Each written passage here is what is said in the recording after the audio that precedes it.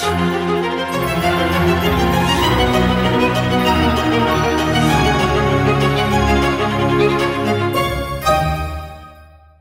guys, welcome to another video for anatomy and physiology. In this video, we're continuing our discussion with the muscular system and we're highlighting the muscles that act on the arm. So here I have a list of all the muscles. There are nine muscles that act on the arm that cause arm movement. The last four muscles we've discussed, these are the, um, the rotator cuff and um, I'll put a link to that video right here. And the the next set of three, the deltoid teres major and coracobrachialis, we'll discuss those in another video. This video is primarily going to focus on the pectoralis major and the latissimus dorsi. So again, these are muscles that uh, are involved in, in moving your arm. These two muscles that we're going to highlight today, these are two axial muscles. And they're called axial muscles because their point of origin is primarily on the axial skeleton.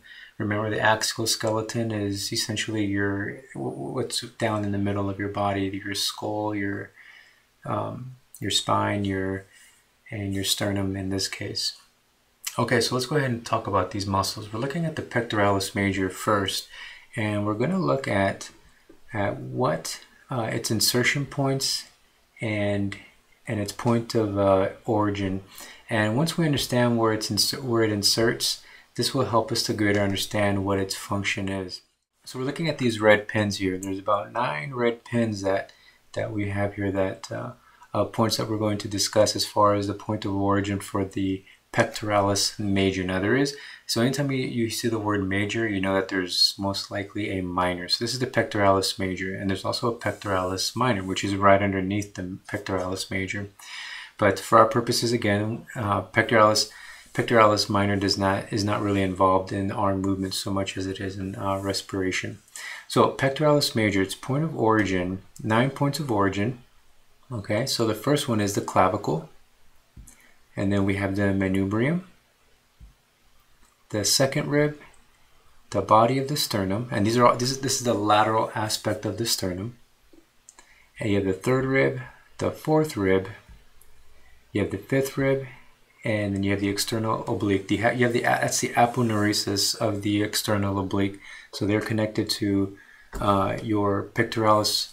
Your pectoralis major also has connection with your uh, obliques.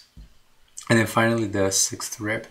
Now, so these are the points of origin for this muscle, and you can see that that the pectoralis major, this is a major convergent muscle because you can see here the fibers are all converging into one point. And this one point converges and connects to the humerus. And let's actually go to the humerus real quick. So we're looking here at the humerus, and this is an anterior view of the uh, humerus. I'm going to highlight this little line right here. This is the intertubercular groove. And the reason why it's called that is because this line here lies in between you know, the greater tubercle and the lesser tubercle. And this is the intertubercular uh, groove. This is the line here. So the muscle converges and it attaches itself right here on this lateral lip. Okay.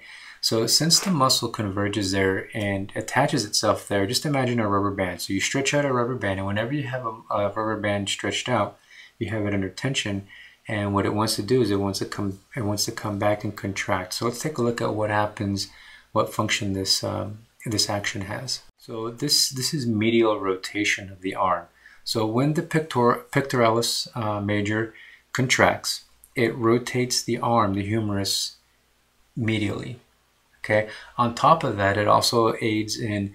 So you know, if you could imagine, if you ever gone rock climbing, and it, aids you in giving somebody a hug, bench press, push-ups, uh, you name it. It also uh, pulls the arm in. It adducts it. Okay. It flexes, and again, as you're seeing here, it medially rotates that arm. So that's the function. Okay, so again, like a rubber band under tension, it wants to come back and it contracts and it uh, causes that motion. All right, so let's now let take a look at the latissimus dorsi, which is right here. Let me uh, give a better view. So that's the latissimus dorsi. So let's take a look at the points of origin and insertion for this muscle. All right, so we're looking at the latissimus dorsi, and as you notice here, this is a very large muscle uh, attaching to the humerus and going all the way through the back into your uh, into your sacrum here. Okay, so let's take a look at uh, its points of origin. As you can see here, we have several. So let's kind of zoom in on this a little bit. So we have the uh, the first insertion point or, point of origin is on the T7. That's the thoracic. That's the seventh vertebrae, the th thoracic vertebrae. It goes to T8, T9, T10, and this will actually, actually let me just go one by one because it'll go all the way to L, L5 and the sacrum. So there's your L1, your L2, so now we're in the lower back, the lumbar, L3, L4, and then your ilium also. Okay, so this is the ilium, this is the, the sharp edge of your hip bone, okay, of the pelvis. And then again, the L5 vertebrae, and then also at the end, attaching itself to the sacrum. And then this muscle, much like your pectoralis major, converges and attaches itself to the humerus. So going back to the humerus real quick. So your latissimus dorsi will converge and attach itself to the floor of the intertubercular uh, groove here. Okay, right here at the floor of it. And so let's look at the function. So as you can see here, when the latissimus dorsi contracts, it adducts the arm, it pulls it in. So this function is useful in rowing a boat, when you're walking, when you're bowling. So when you're bowling, when you're pulling that arm back and then forward, when you're doing pull-ups, so when you're rock climbing again. Okay, so once again, this is uh, this this was a video when we were discussing the muscles acting on the arm, and this is in conjunction with the um, rotator cuff with the shoulder muscles. I hope you found this video helpful in your studies. Uh, thanks for watching, guys, and uh, good luck in your studies.